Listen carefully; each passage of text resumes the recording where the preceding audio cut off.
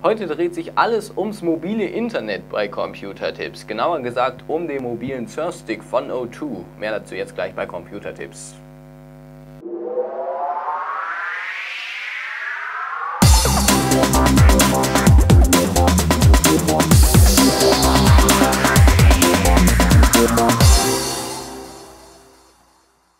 Hallo und herzlich willkommen zu einer neuen Folge von Computertipps.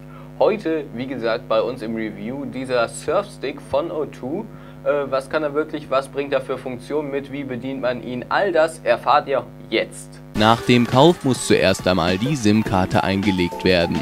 Das erfordert etwas Geschicklichkeit und vor allem Geduld, denn der Deckel ist etwas schwer aufzubekommen.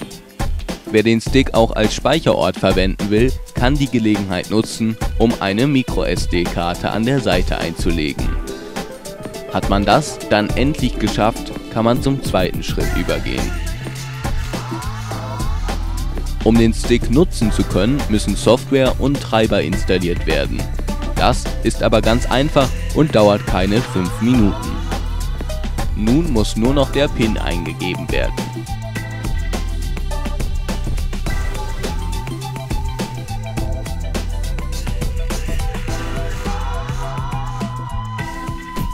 Danach kann man aber nicht direkt das mobile Internet nutzen.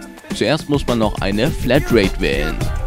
Es gibt eine Tagesflatrate und mehrere Monatsflatrates mit je unterschiedlichen Highspeed-Volumen.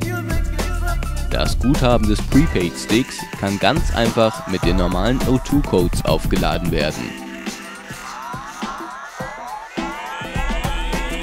Mit 15 Euro ist der O2 Surfstick einer der günstigsten Internetsticks.